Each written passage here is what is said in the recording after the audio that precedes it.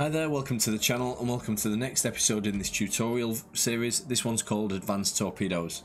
Now in this one my aim is to get you to use the activation timers more effectively. I've done a bit of research into this one, mainly to figure out the torpedo um, the torpedo speed. I'm just going to pause it so nothing ruins the game while I'm saying this. Um, there's a guy in the comments who told me the other day the the speed of the torpedo and I've, I've kind of worked it out. And then I've just nipped onto Discord to check with him that uh, it's correct and everything. And he said yeah that's what he's found out. It could depend on current I believe and things like that. So just keep that in mind. This is more of a rough speed guide than you know this is actually what it, it travels at. So it's been hard to um, to pin down completely. Um, I just wanted to give you that little bit of warning there while we do this. Um, so the aim is to hit this target here. From here, I'm going to work out the distance and go through all that. Um, I'm also using the UI, UI Enhancer mod. I've got a video for that if you've not seen it. It's just been updated today, I think. Um, so I can measure distance on the holomap. You can do it through the vehicle vehicle controls as well, which I'll show you once I launch the torpedo, so I'm not worried about this target moving. Um, yeah, so let's get to it. So first off, I'm gonna get the um, I'm gonna get the distance. So now if I do the distance here, it's gonna activate as soon as it hits the target. So I'm gonna do it something like here. So let's just say 6,000 meters. I'm just gonna write this down. So distance equals 6,000 meters. And then the speed of the torpedo is, I think, let me just make sure I've got the most accurate information here. Uh, 43 meters per second. So we'll go with 43. Okay. Now, let me just get my calculator out to work this out.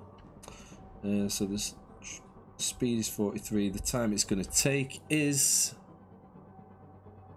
6000 divided by 43 equals 139.5. So we'll just go with 139.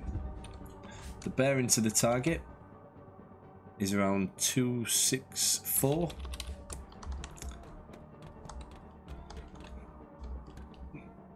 So 264 and activation is 139 and uh, let's put it to 140 that should be close enough. Load the torpedoes on the right because it's mainly facing my right side. Okay fire one. Fire two torpedoes are away so yeah if you need to work out the distance you can go here and I'm not sure if this is available without the mod, but I can just hold down on my carrier, drag, and I can work out the distance there and the bearing. If that doesn't work, you could just deploy something, get the distance and do it like that, but I'm pretty sure that works without a mod.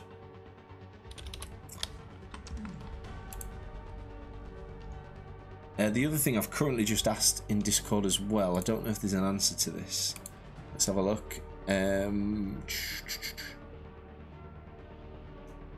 trying to figure out whether they have an activation cone or a radius. And the consensus seems to be it's a cone. Now I'm not sure what the uh, what how many degrees the arc is of that, but apparently it is a cone. But yeah, it's just, you know, we're trying to figure out this information ourselves. Please look in the description, because if I get any more information or anything like that, I'll put it in there. So if there's anything that I found out after this video, I'll put in the description. I hope that's not too ambiguous for you. Um, so what I'll do now is I'll just put a cut in the video and we'll come back when we're a little bit closer.